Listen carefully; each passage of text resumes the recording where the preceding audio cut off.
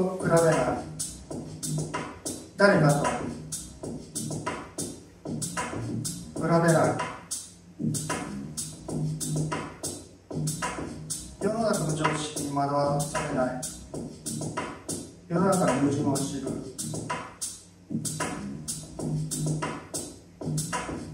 人のせいにしない。誰かのせいにしない。